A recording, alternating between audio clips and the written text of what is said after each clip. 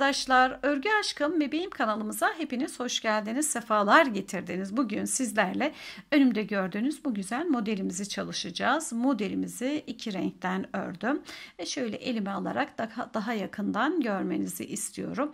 İp kırmadan örüyoruz. Her iki yönünü de kullanabileceğimiz güzel bir çalışma. Bu modelimizde neler yapabiliriz? Battaniyeler, örtüler örebiliriz. Yelekler, atkılar, şallar, hırkalar yani her türlü e, örgümüzde bu güzel modelimizi kullanabiliriz. Modelimizin yapımına geçmeden önce eğer kanalıma abone değilseniz Abone olarak beni desteklerseniz beğenilerinizle, yorumlarınızla çok çok mutlu olurum. Evet, şimdi bu güzel modelimizin yapımına geçelim. Kolay gelsin. Şimdi ben e, iki buçuk numaralı tığımı kullandım ve şöyle kalan iki renk ipimle çalıştım. Daha pembe olan ve toz pembe olan rengimle e, arada kullanacağımı e, daha koyu olanı tercih ettim. Şu, şu şekilde bakınız. Diğer e, trabzanlarımda ise toz pembemi kullandım. Sizler de ona göre renk kombinini ayarlayarak çalışmamızı yapabilirsiniz. Evet şimdi hemen bu aşağı kısmında yuva kısmını hazırlayarak örmeye başlayalım. Zincirimizi çekerek küçük bir parça örmeye başlayalım. 7 tane yuva modelimi anlatmak için yeterli olacak. Şuradan şuraya 1, 2, 3, 4 tane modelim için 7 yuva e, yeterli. Düğümümü attıktan sonra 3 zincir çekiyorum. 1, 2, 3. Tığımın başını doluyorum. Birinci zincire giriyorum. İpimi çıkardıktan sonra önce ikisini şöyle alıyorum. Sonra diğer ikisini alıyorum. Bir tane yuvamı kurdum. Üzerine 3 zincir çekiyorum. Tığımın başını doluyorum. Şuradaki iki tane olan ilmeğimden ipimi geçiriyorum. Önce doladığımda çıkardığım ilmeği ikisini bir alıyorum. Sonra diğer ikisini iki yuva oldu. 1, 2, 3 zincirimi çekip tığımın başını doluyorum.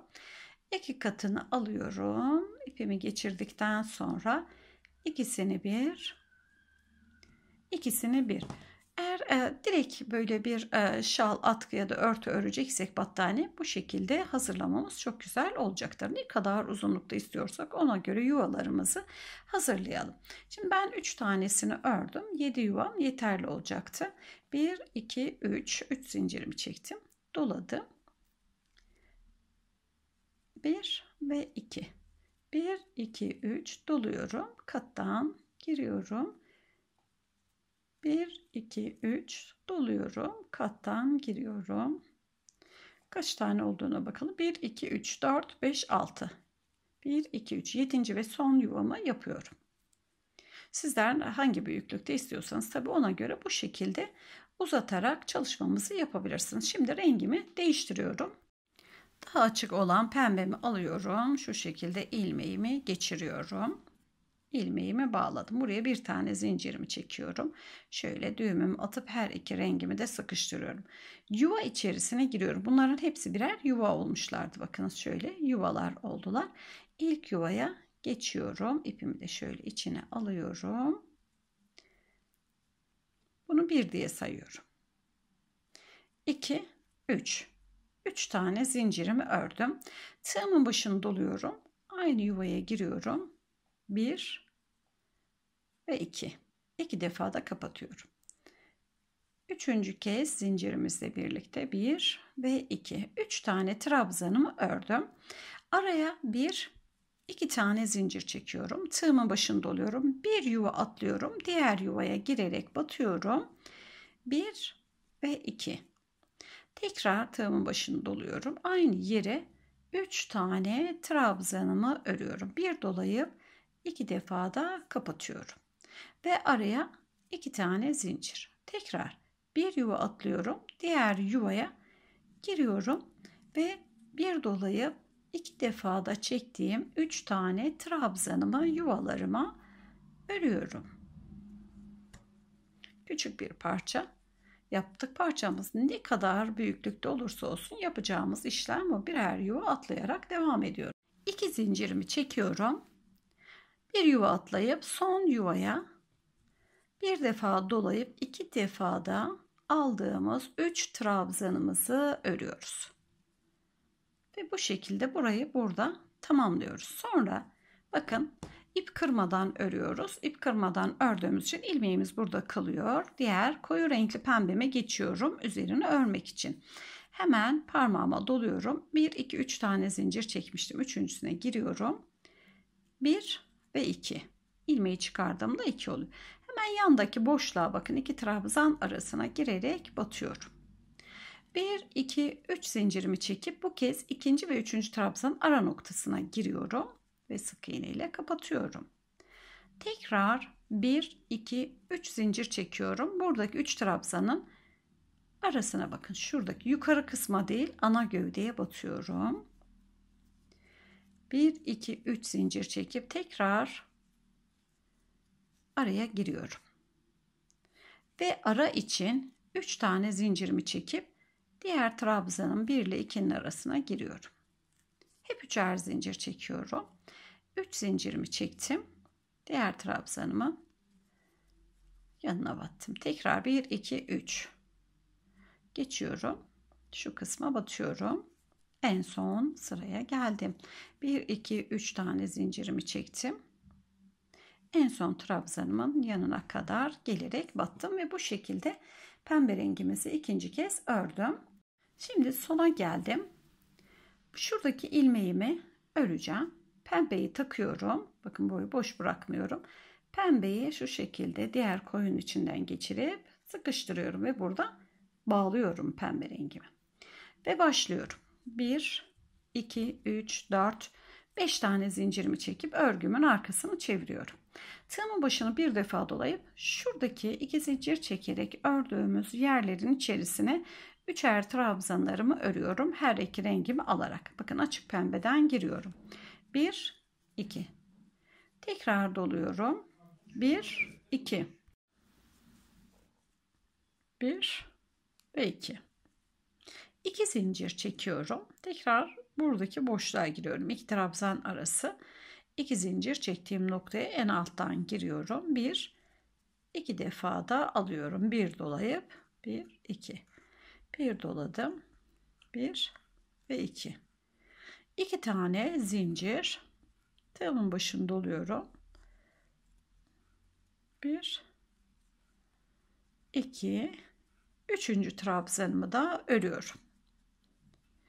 Bir, iki tane zincir çekiyorum. Tığımın başını doluyorum. Şuradaki son e, üçüncü trabzanımın tepe noktasına gelerek batıyorum. Bir ve iki defa da alarak ipimi buradan uzatıyorum. Bu şekilde tamamladım. Şimdi yeniden e, pembe renkli ipimin olduğu bölüme geçiyorum. Şu şekilde bakınız. 1 2 3 üçüncü zincirin olduğu yere geliyorum tığımın ucunu girdiriyorum. ipimi buradan çıkarıyorum. 1 2 3 tane zincir çekiyorum başlangıç olduğu için ve buraya gireceğimiz için bakınız. 3 zincirimi çektim. 1 ile ikinci trabzanımın ara noktasına giriyorum. Sık iğnemle kapatıyorum. 1 2 3 tane zincir çekiyorum. Bakın şöyle araya giriyorum. Tekrar 1 2 3 1 ile 2'nin arasını yani üçer zincir çekerek sıramızı tamamlıyoruz. 1 2 3 Örmesi de son derece keyifli. Batik ipler, ibrol ipler kullanabilirsiniz bu çalışmada. Bir tanesi düz, bir tanesi renkli olarak kullanırsanız onlar da çok güzel durmakta. Sıramızın sonuna kadar geldik. Modelimiz ilerledikçe çok daha güzel ortaya sonuçlar çıkacak bakınız. 3 zincirimi çektikten sonra pembe renkteki ilmeğimi geçiriyorum. Böyle sıkıştırıyorum. Şu şekilde pembemi alıyorum. İçinden geçiyorum ve diğer koyu renkliyle sıkıştırıyorum. 1 2 3 zincirimi çekiyorum. Örgümün yönünü çeviriyorum ve başlıyorum. Zincirimi birinci trabzan olarak sayıyorum. Bunu 2 ve 3 toplamda zincirimle birlikte 3 tane trabzanım oluyor. Araya 2 tane zincir ve gördüğüm şu boşluğa 3 tane trabzan. 1 2 3 Araya 2 zincir, 3 trabzan, bir doluyorum. 2 defa da kapatıyorum. 2 zincir, son kutuya 3 trabzan 1 2 ve 3 Evet ipimi şöyle genişçe bırakıyorum ve e, daha koyu renkte olan ipimin bulunduğu noktaya geçiyorum ve şu şekilde üçüncü zincirimin tepesine batıyorum ilmeğimi geçiriyorum bir iki tane zincirimi çekip hemen bir de ikinin arasına batıyorum 3 tane trabzan varken 2 zincir yeterli. 1 2 diğerlerini üçer çekiyoruz. 3 batıyorum. Tekrar 1 2 3 batıyorum. 1 2 3 3 tane trabzanımızın önce sağ tarafına sonra sol tarafına üçer zincirimizi batıyoruz ve bu şekilde örgümüzü devam ettiriyoruz. Gördüğünüz gibi son derece yapımı kolay. Hiç karışacak bir tarafı olmayan bir çalışmamız. 1 2 3 Şuraya batıyorum. Ve buradaki uzun aldığım ilmeğimi şöyle tığıma takıyorum. Elimi pembe rengimi alıp ilmeğimi burada boş bırakmıyorum. Pembemle sıkıştırıyorum ve buradan 1, 2, 3, 4, 5 zincirimi çekip örgümün arkasını çeviriyorum ve ikinci sırada kurduğum gibi bakın iki de ortada üçer trabzanımı kuruyorum. 3 tekrar 2 zincir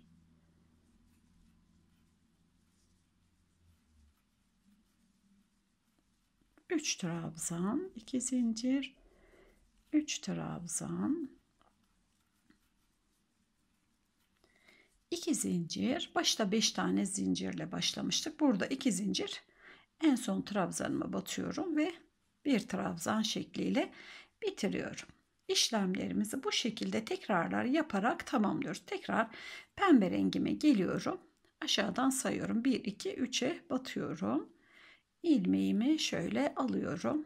1, 2, 3 tane zincirimi çekip araya giriyorum. Bakınız tekrar 1, 2, 3 ve devam ediyoruz. Şöyle daha önceki hazırlamış olduğum büyük parçayı elime alıyorum. Gördüğünüz gibi sevgili arkadaşlar yapımı hem kolay hem de zevkli bir çalışma iki yönüyle de kullanılabilmesi de güzel bir ayrıcalık bence. Evet bir çalışmamızı bu şekilde tamamladık. Beni izlediğiniz için hepinize çok çok teşekkür ederim. Yeni çalışmalarımızda yeniden görüşmek üzere. Hoşça kalın, mutlu kalın. Görüşmek üzere.